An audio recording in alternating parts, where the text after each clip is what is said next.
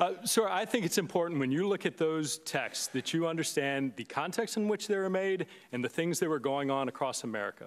In terms of the text that we will stop it, you need to understand that that was written late at night, off the cuff, and it was in response to a series of events that included then candidate Trump insulting the immigrant family of a fallen war hero.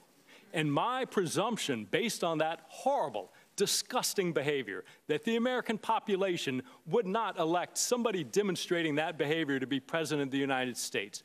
It was in no way, unequivocally, any suggestion that me, the FBI, would take any action whatsoever to improperly impact the electoral process for any candidate.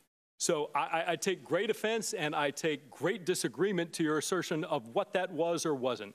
As to the 100 million to one, that was clearly a statement made in jest and using hyperbole. I, of course, recognize that millions of Americans were likely to vote for candidate Trump. I acknowledge that is absolutely their right. That is what makes our democracy such a vibrant process that it is.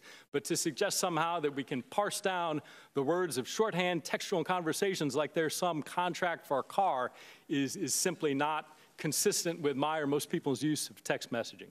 I can assure you, Mr. Chairman, at no time in any of these texts did those personal beliefs ever enter into the realm of any action I took. Furthermore, this isn't just me sitting here telling you, you don't have to take my word for it. At every step, at every investigative decision, there are multiple layers of people above me, the assistant director, executive assistant director, deputy director, and director of the FBI, and multiple layers of people below me, section chiefs, supervisors, unit chiefs, case agents, and analysts, all of whom were involved in all of these decisions.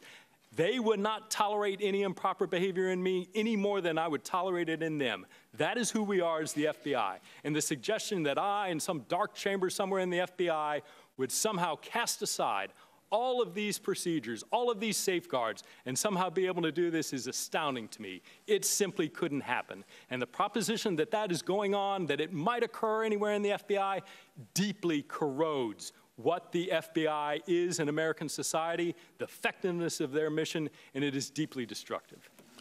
The, the, the, the